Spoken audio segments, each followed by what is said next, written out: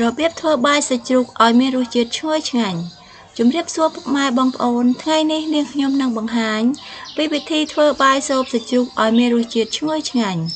បាយសូបសាច់ជ្រូកជាអាហារដ៏ពេញនិយមសម្រាប់ប្រជាជនខ្មែរយើងទទួលទាននៅពេលព្រឹកពេលនេះសូមអញ្ជើញបងប្អូនទស្សនាការធ្វើជាមួយនឹងនាងខ្ញុំទាំងអស់គ្នា ជាដំបូងយើងចាប់ផ្ដើមធ្វើជ្រក់ បន្លែធ្វើជ្រក់របស់យើងមានដូចជា ត្រសក់ឆៃថាវការ៉ុតបងប្អូនអាចបន្ថែមជាមួយនឹងខ្ញីទៀតក៏បានដែរបន្ទាប់ពីចិតបន្លែរបស់យើងរួចរាល់ហើយ យើងអាចយកបន្លែទាំងនោះមកច្របាច់ជាមួយនឹងអំបិល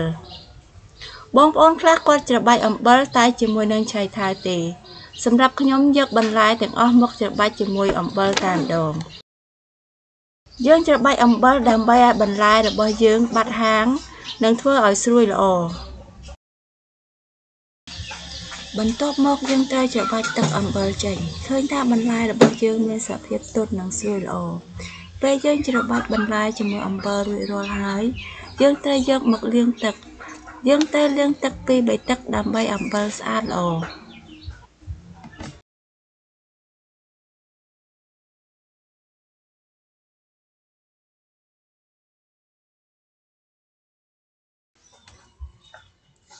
បន្ទាប់ពីលាងបន្លែរបស់យើងបានស្អាតល្អហើយយើងចាប់ផ្ដើមផ្សំគ្រឿងធ្វើជ្រក់ជ្រក់របស់យើងមានគ្រឿងផ្សំដូចជាទឹកត្រី ស្ករស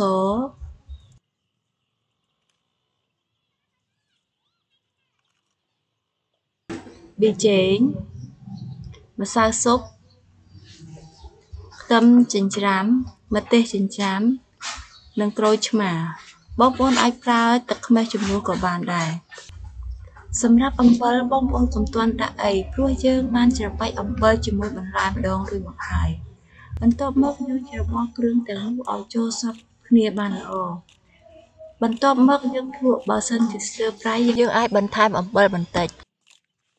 សម្រាប់រសជាតិយើងយកជូរល្មមផ្អែមកុំឲ្យប្រៃរួចយកទៅដាក់ក្នុងធុងឬទូទឹកកកដើម្បីឲ្យជ្រក់របស់យើងកាន់តែស្រួយល្អ យើងចាប់ផ្ដើមប្រឡាក់សាច់របស់យើងសាច់ជ្រូកយើងត្រូវភ្លះជាចំណិតស្ដើងស្ដើង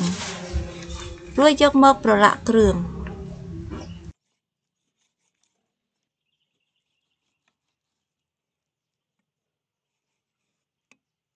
គ្រឿងប្រឡាក់សាច់របស់យើងមានដូចជាប៊ីចេងអំបិលស្ករក្រហម បងប្អូនអាចដាក់ជាមួយនឹងស្ករសក៏បានដែរតែសម្រាប់ខ្ញុំចូលចិត្តប្រើជាមួយនឹងស្ករក្រហម ទឹកប្រេងខ្យងរួចច្របល់គ្រឿងទាំងនោះឲ្យចូលសព្វគ្នាបានល្អសម្រាប់រសជាតិយើងយករសជាតិផ្អែមបន្តិច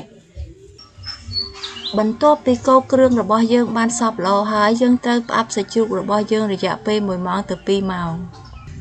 យើងចាប់ផ្ដើមធ្វើទឹកត្រីស្រូបបាយមានដូចជាទឹកខ្មេះប៊ីចេងស្ករសម្សៅស៊ុបទឹកត្រីទឹកឆ្អិនកូរគ្រឿងចូលគ្នាឲ្យសព្វល្អរួចបន្ថែមជាមួយនឹងម្ទេសចិញ្ច្រាំ ខ្ទឹមសចិញ្ច្រាំកូរវាជាការស្រេចរួចភ្លក់ទៅតាមចំណង់ចំណូលចិត្តសម្រាប់រសជាតិយើងយករាងផ្អែមនិងជូរបន្តមកទៀតគឺយើងចាប់ផ្ដើមចិញ្ច្រាំខ្លាញ់ជ្រូកទុកសម្រាប់ធ្វើទឹកស្រូបបាយសម្រាប់ខ្លាញ់ជ្រូកយើងត្រូវចិញ្ច្រាំវាឲ្យរាងម៉ត់បន្តិចដើម្បីងាយស្រួលក្នុងការធ្វើទឹកស្រូបបាយរបស់យើង។ សាច់របស់យើងបានចូលជាតិបានល្អហើយយើងចាប់ដើមចៀនសម្រាប់ការចៀនសាច់ជ្រូកនេះផងដែរគឺយើងដាក់ខ្លាញ់តែបន្តិចបានហើយ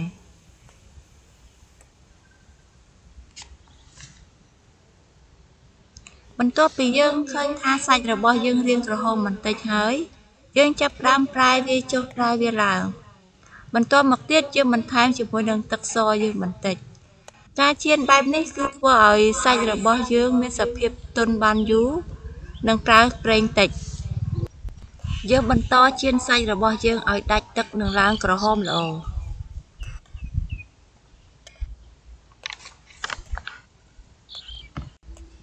បន្ទាប់ពីឃើញថាសាច់របស់យើងក្រហមល្អហើយ គឺយើងដួសទុកមួយអន្លើសិន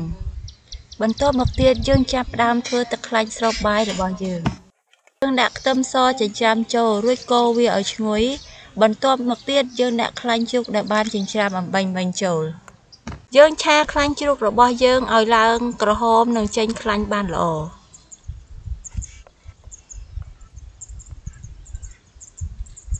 បន្ទាប់ពីឃើញថាខ្លាញ់របស់យើងចេញខ្លាញ់បានល្អនិងឡើងពណ៌ក្រហមហើយយើងបន្ថែមជាមួយនឹងទឹកស៊ីអ៊ីវចូល យើងត្រូវកូរស៊ីអ៊ីវឲ្យឡើងឈ្ងុយល្អ បន្ទាប់មកទៀតគឺយើងដាក់ស្លឹកខ្ទឹមជាការស្រេចសម្រាប់ស្លឹកខ្ទឹមនេះផងដែរបងប្អូនអាចដាក់រាងច្រើនបន្តិចដើម្បីឲ្យទឹកស្រូបបាយរបស់យើងមានក្លិនឈ្ងុយល្អ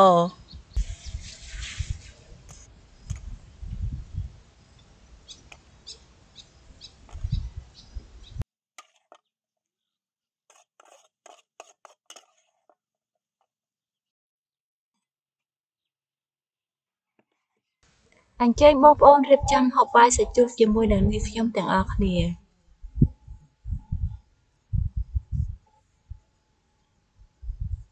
បាយសាច់ជ្រូករបស់នាងខ្ញុំមានដូចជាសាច់ជ្រូកចៀនបាយពងទាចៀនសាបពងទាចៀនគ្រឿងយើងមានជាមួយនឹងទឹកស្រូបបាយរបស់យើង យើងមានជ្រក់ក៏ដូចជាទឹកស្រូបបាយផងដែរ